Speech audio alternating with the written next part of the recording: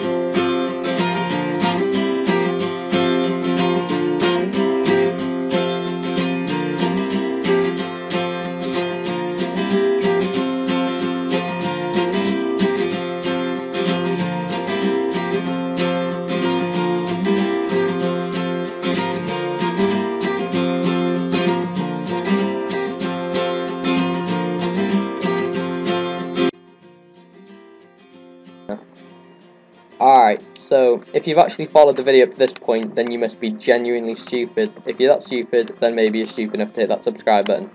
Peace out, guys.